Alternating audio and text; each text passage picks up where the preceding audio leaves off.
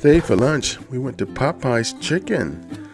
I'm very sad to report that the church's chicken that we go to probably once once or twice a month has been shut down. I drove by the other day. I was very sad that Church's Chicken closed down. So as my backup, I went to Popeyes.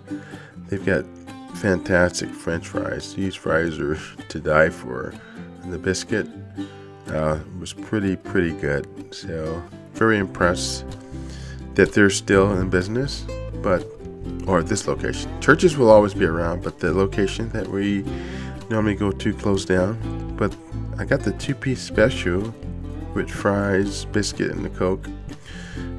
And I'm just eating fries. There's my Coke. And the chicken, I got the two-piece. It was pretty good. It's pretty pricey though. It was over eleven dollars.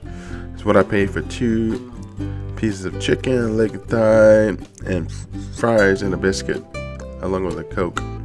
So a little bit more pricey than the church's chicken that I usually go to. Probably like nine dollars more, than, or eight dollars more than what I used to pay at church's. But overall, I give it a, a nine out of ten. It was good. The fries were good. I couldn't stop eating the fries, as you can see, and the chicken. The fries are pretty good, but fries you want to eat them when they're still warm so i'm eating on that and then i've got the thigh here.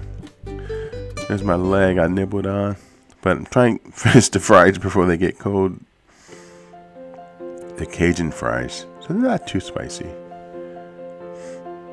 But they have a two-piece special three-piece special at popeyes.